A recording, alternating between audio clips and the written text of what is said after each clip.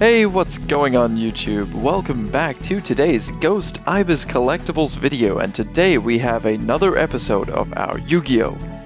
Down to 1 booster pack openings. Today we have a Yu-Gi-Oh! Legendary Duelist Magical Hero.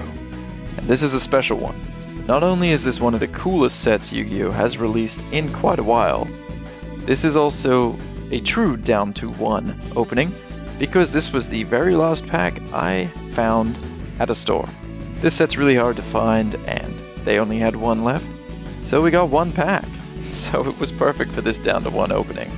But before we get into that pack, I want to welcome our Bujingi Ibises, the Ghost Ibises, the mascot of the channel in Yu-Gi-Oh! card form, who will be our luck collectors. So if you have any luck at home that you want to send into this opening, Bujingi Ibis will collect it. Just let him know where to pick it up in the comment section below.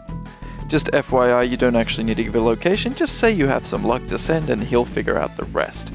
That being said, if you guys would like to subscribe to the channel, please do so. You can click the subscribe button down below.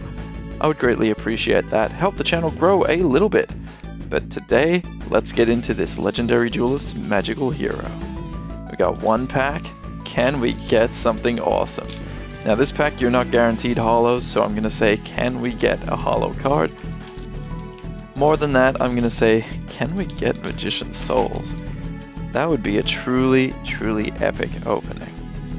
So here we go. Flip it round to the front. We have Timegazer Magician, a very cool card. We have Gagaga Samurai, looking very cool.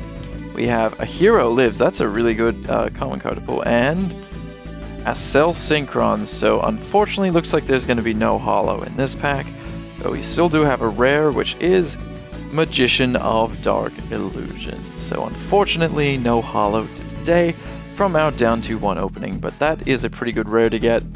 And we did also get a very cool A Hero Lives, so there we go. Unfortunately, not today, but any luck you did send, I'm going to say we can use it for the next video.